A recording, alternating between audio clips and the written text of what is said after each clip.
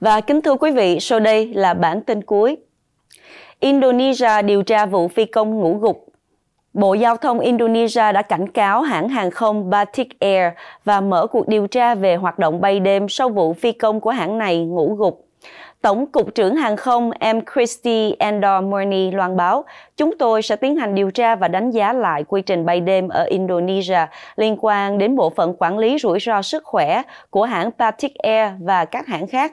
Tuyên bố được đưa ra sau khi Ủy ban An toàn Giao thông Quốc gia Indonesia công khai bản báo cáo về vụ hai phi công của hãng hàng không Batik Air đã ngủ gật 28 phút trong lúc chiếc phi cơ Airbus A320 đang bay từ tỉnh Sulawesi tới thủ đô Jakarta ngày 25 tháng 1. Theo bản báo cáo, khoảng 30 phút sau khi máy bay cất cánh, viên phi công chính 32 tuổi nói với viên phi công phụ rằng anh cần nghỉ ngơi một lát. Sau đó viên phi công phụ nắm quyền điều khiển máy bay nhưng cũng ngủ quên. Chiếc phi cơ đi chệch hướng nhưng may mắn không gặp biến cố nào. Khi viên phi công chính thức dậy, anh ta đã điều chỉnh lại đường bay, tiếp tục hành trình, sau đó hạ cánh an toàn và toàn bộ 153 hành khách cùng 4 thành viên phi hành đoàn không gặp vấn đề gì.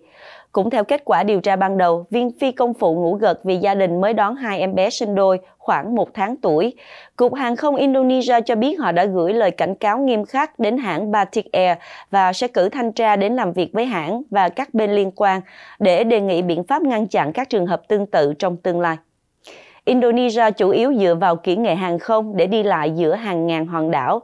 Năm 2021, chiếc máy bay của hãng Sriwijaya Air lao xuống biển, khiến toàn bộ 62 người thiệt mạng. Năm 2018, 189 người thiệt mạng khi chiếc Boeing 737 MAX của Lion Air lao xuống biển. Trước đó nửa năm 2014, một máy bay A320 đã lao xuống biển trong thời tiết xấu, khiến 162 người thiệt mạng hồi đó vậy đi máy bay bao nhiêu lần nhưng chưa bao giờ nghĩ tới cái vụ mà kiểm tra cái phi công có ngủ quên hay không sao mình biết được ngủ anh bởi phải không à, mình tâm nghĩ là những cái chuyến bay ngắn ngắn thì có thể vụ này xảy ra ừ. chứ những chuyến bay đường trường như bay từ đây về Việt yeah. Dạ. Nam chắc là không xảy ra tại vì họ có lên cái ca người nào ngủ người nào không ngủ cả rồi thành ừ. ra chắc thì không chắc nha mình hy vọng hy vọng như vậy mình nuôi hy vọng đó thì không chắc cho nên là có lẽ từ đây về sau mỗi lần mà đi những chuyến bay đường trường như vậy thỉnh thoảng em lên gõ cửa. Em nhắc nhẹ.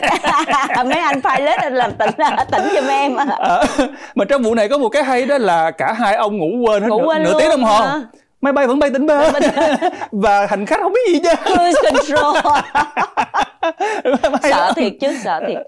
Chưa tới số. Chưa tới số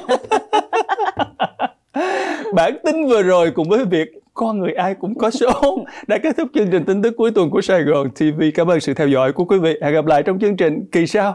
Và xin kính chúc quý vị và gia đình một ngày chủ nhật bình an. Xin kính chào tạm biệt.